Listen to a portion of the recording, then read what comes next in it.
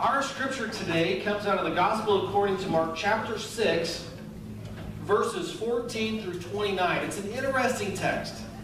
Uh, it starts out that Jesus is equipping his disciples. This is early on in his ministry, and he's taking the disciples out, and guess what? Surprise, surprise, good things are happening.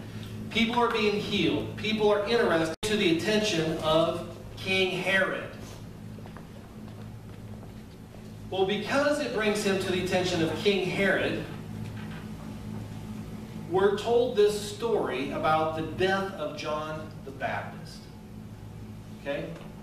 So follow along with me here. Mark chapter 6, verses 14 through 29. It says, King Herod heard of all that good stuff Jesus was doing. For Jesus' name had become known, some were saying John the Baptizer has been raised from the dead. And for this reason, these powers are at work in him. But others say it is Elijah, and others said it is a prophet, like one of the prophets of old. But when Herod heard of it, he said, John, whom I beheaded, has been raised. For Herod himself had sent men who arrested Jesus, bound him, put him in prison on account of Herodias, his brother Philip's wife, because Herod had married her. For John had been telling Herod, It's not lawful for you to have your brother's wife. And Herodias had a grudge against him and wanted to kill him. But she could not, for Herod feared John, knowing that he was a righteous and holy man, and he protected him. When he heard him, he was greatly perplexed, and yet he liked to listen to him. But an opportunity came when Herod, on his birthday, gave a banquet for his courtiers and officers and for the leaders of Galilee. When his daughter Herodias came in and danced, she pleased Herod and his guests. And the king said to the girl, Ask me for whatever you wish, and I will give it. And he solemnly swore to her, Whatever you ask me, I will give you, even half of my kingdom. She went out and said to her mother, What should I ask for? She replied, The head of John the Baptizer. Immediately she rushed back to the king and requested, I want you to give me at once the head of John the Baptist on a platter. The king was deeply grieved, yet out of regard for his oaths and for the guests, he did not want to refuse her. Immediately the king sent a soldier of the guard with the orders to bring John's head. He went and beheaded him in the prison, brought his head on a platter, gave it to the girl. Then the girl gave it to her mother. When his disciples heard it, they came and took his body and laid it in a tomb. This week I had an elders meeting, and Howie Sutliff asked me to give a devotion. There wasn't a lot of stuff for the elders to talk about. He knew there'd be some extra time. He asked me to give a devotion. And in the context of the devotion, I mentioned that sometimes we feel a little trapped in places. And uh, one of the things that I mentioned was that uh, I have oftentimes felt trapped at funerals. And even though this was only supposed to be a very brief moment of the meditation, uh, the elders were extremely interested in why I felt trapped at funerals. And, and I said, well, first off, uh, sometimes the pastor can really fall in love with the sound of his or her voice and just want to go on and on and on and on go forever. I said, I, I don't like that, but I said, even more, I despise being at funerals when the pastor decides that this is a wonderful opportunity to pull out every single scripture that he or she can find about hell. And read that verse about hell, and this verse about hell, and every single verse about hell. And then once he or she does that, you know what they have to do. They have to pull out every single verse about heaven. So they can read every verse in the book of the Bible about heaven, about how bad hell is, and about how great heaven is, and all of a sudden, it's like, now why are we here? Oh yeah, somebody died. But I feel like the pastor sometimes at those funerals just feels like, I have a captive audience. And out of honor for the dead, they're going to sit through this miserable sermon and listen to me. And that's exactly what I do. I might complain a little bit. My brother said to me the other day, he goes, This is a terrible sermon. This is a terrible funeral. I said, Yes, it is. It is. But those funerals, I mean, I have definitely felt trapped at funerals before. The elders were very interested in this. But this idea of being trapped, I think, is exactly what's going on in our scripture for the disciples of John the Baptist. They are not trapped in a bad funeral, but they are trapped in a bad place in life. You ever been trapped in a bad place of life? That place of life where it's like, wow, I would rather wake up in the morning with my head sewn to the carpet than have to endure another day that starts out like this. Trapped. John the Baptist is their leader. And John the Baptist is no small figure in the Bible. He precedes Jesus. So before Jesus even comes out, he's out there saying, hey, you know what? As many great things are happening in this ministry, as many people are being baptized into God, there's somebody coming that's even greater than I am, and his name is Jesus. And so John the Baptist prepared the way for his cousin, Jesus, to come and share God's love with us. Well, John wasn't the kind of guy that minced words. You know, people that when they have a thought, they bring it up. Well, when he was around King Herod, that's what he did. King Herod decided it was okay to marry his brother's wife. And so he told him, he said, hey, it's not right to marry your brother's wife. And um, King Herod was able to deal with that, but his wife Herodias was not so pleased about it. And so she had it out for John. And even though King Herod didn't want John to die, she waited for an opportunity. And so here Herod throws a big birthday party. And the truth is, they were a bit tanked. They drank way too much. And so Herod's daughter comes out and, and dances, and King Herod is like, Oh, you did such a great job, sweetie. A great job. Tell you what, I will give you whatever you ask for, even to half of the kingdom. And so she decides, I'm going to go ask my mother. What should I ask of King Herod? Her mother says, I'll tell you what, you need to ask for the head of John the Baptist on a platter. Now, even though this happened in olden times of antiquity, cutting somebody's head off and handing it to somebody on a platter, this is a horrible, horrible thing. One of the most amazing parts of this scripture, if you ask me, is the very last verse. With after all of this drama and all this stuff that's taken place, the very last verse is void of any kind of emotion. It just says, when John's disciples heard what had happened, they found the body, they laid it in the tomb. Period. Nothing else. I'll bet they didn't have a lot to say.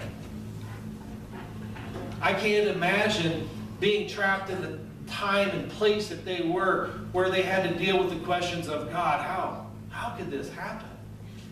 And how could such a faithful servant of God have something so terrible happen and die so inhumanely?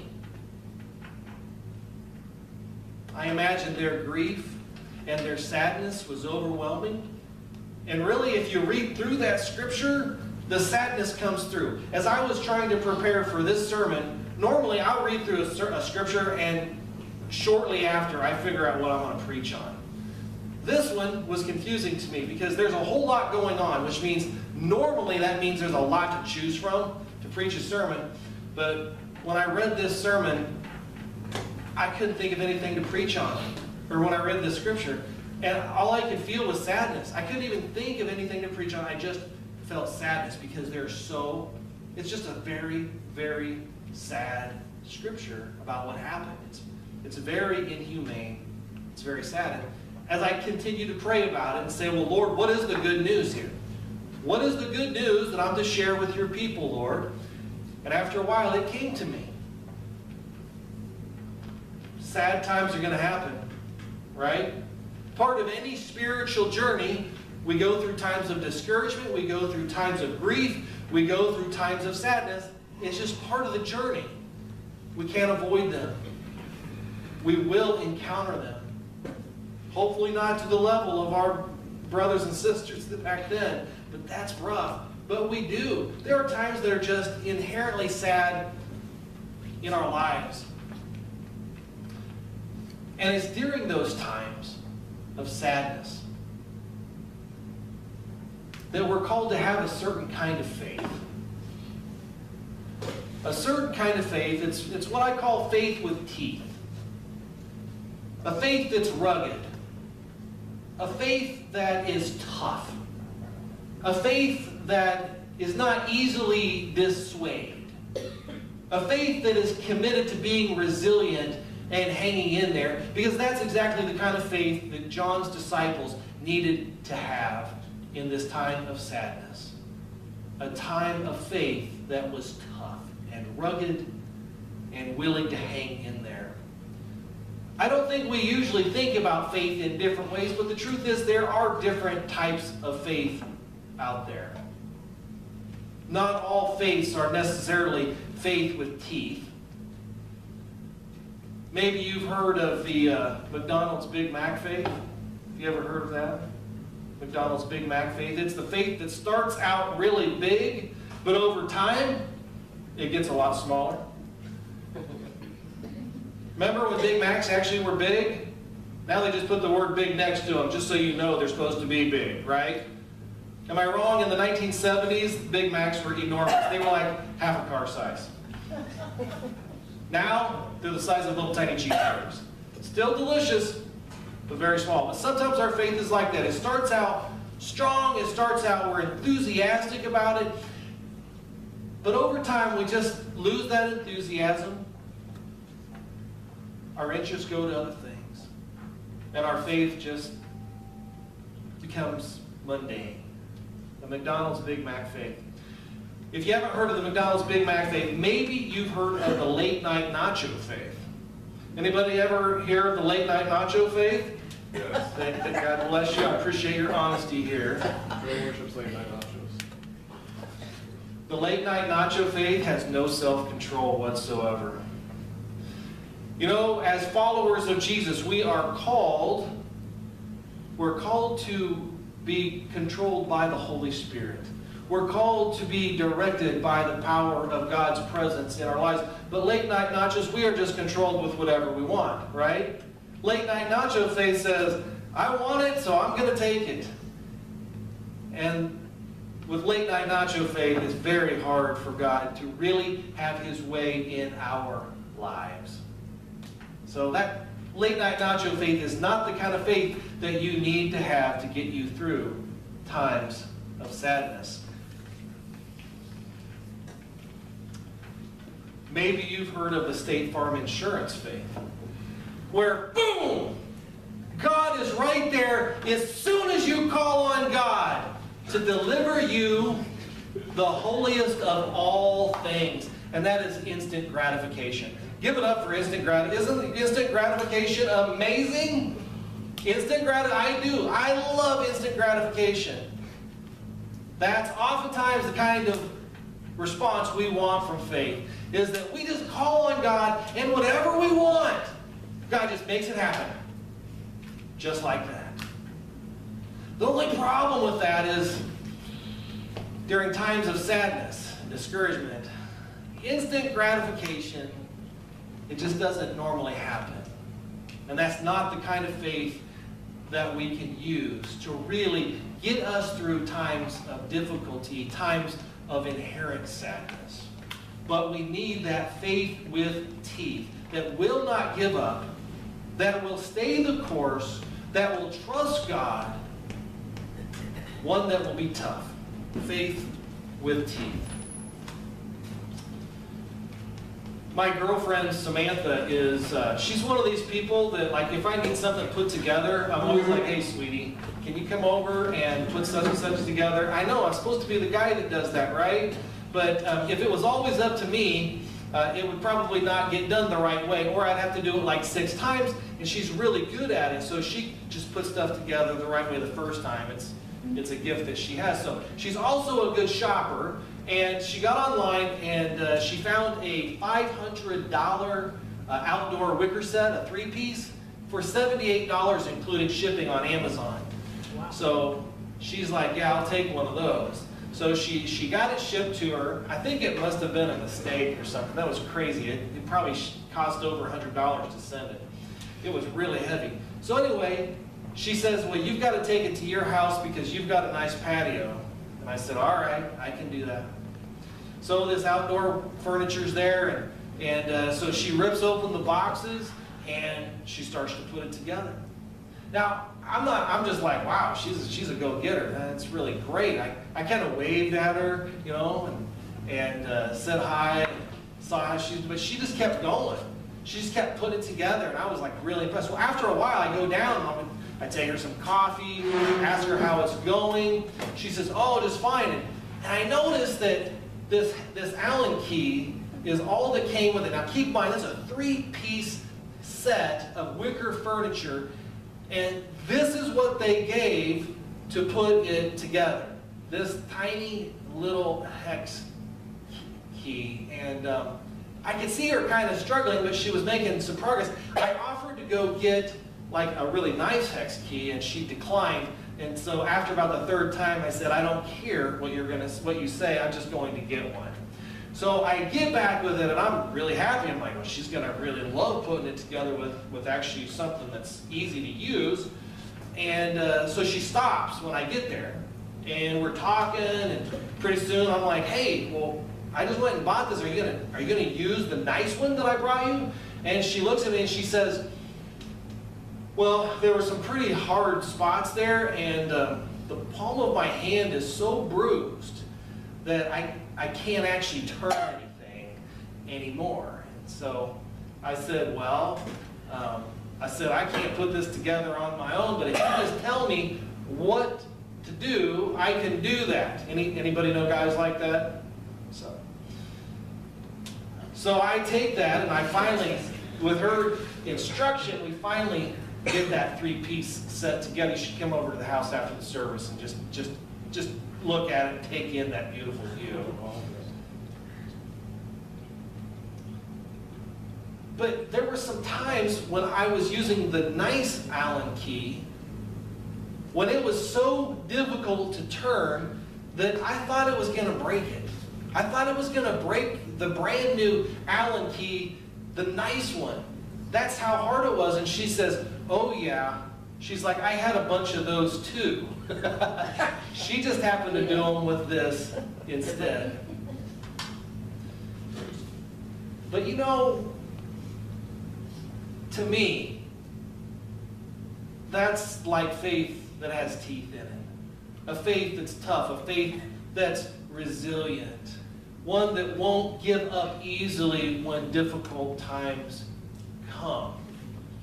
That's faith with teeth that are committed to seeing things through even when it's tough. But there's one thing about faith with teeth that we ought to know, and that is that it doesn't usually just pop up overnight.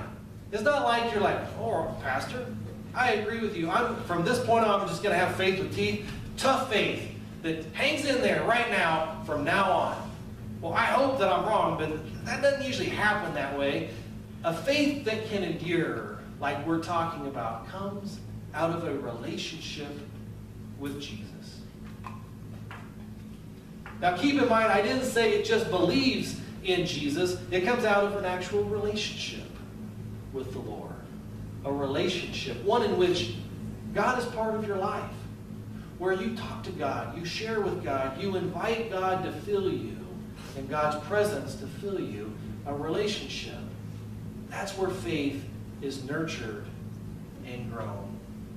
A faith that endures, a faith that has some real teeth in it,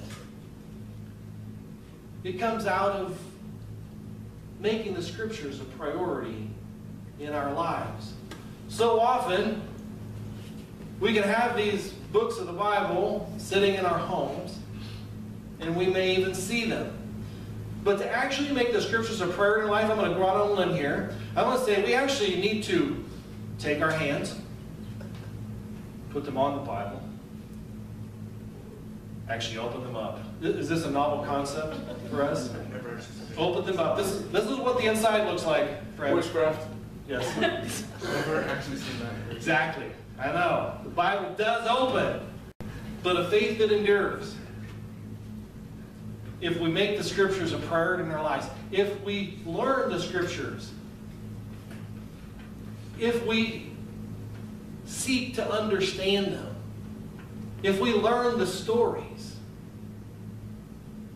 they're designed to help faith spring forth in our lives. Faith with teeth is nurtured by making prayer a priority. We don't have to pray for hours at a time, although if you want to, that's great. Doesn't hurt. But even if you just use times throughout the day where you regularly acknowledge God's presence in your life, where you regularly pray, even if it's just a brief moment throughout the day, multiple times, make prayer a priority. It nurtures that kind of faith. Faith with teeth, it's nurtured by making worship a priority. Where it's something that we crave, something we want to do, something where even when it's difficult to get here, we decide, you know what, I'm going to do it anyway. Because it's here that we finally acknowledge, Lord, you're the most important part of my life. It's not whatever's on my agenda. God, it's you, and that I need you. And that kind of faith nurture is nurtured when we worship. A faith with teeth is nurtured when we love other people so much that we don't find the need to be judgmental. Isn't that crazy? That we can actually love people so much that we don't find the need to be judgmental. It nurtures faith with teeth if we do that. One last thing.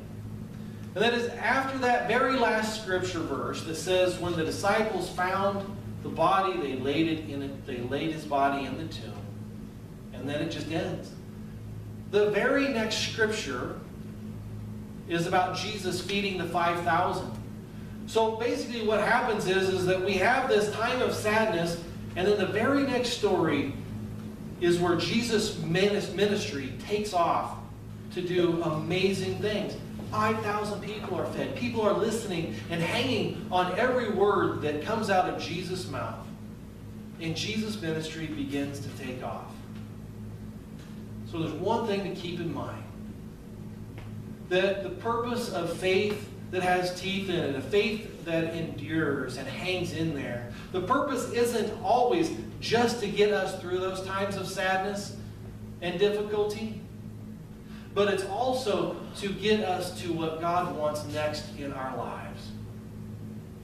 And it's a reminder that God wasn't through with his disciples. God's not through with you. God's not through with this church.